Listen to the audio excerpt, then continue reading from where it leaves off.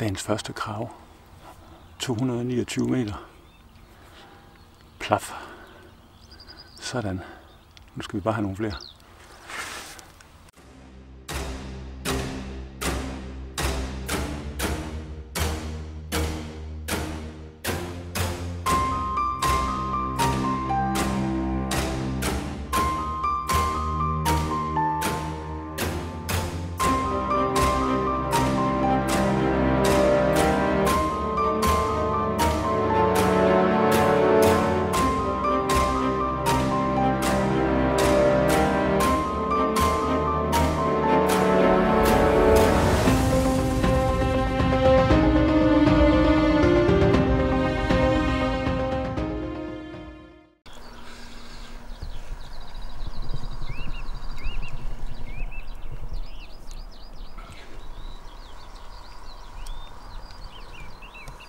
Se, hvor den er ramt henne.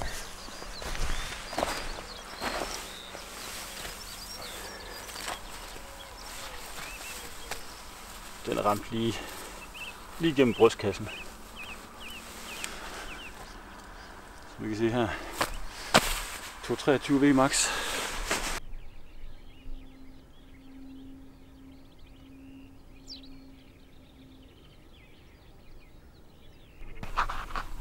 Så er vi klar.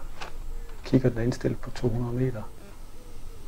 Lokkekravene er sat ud, så de nærmeste står på 200 meter, og de fjerneste står på 230 meter.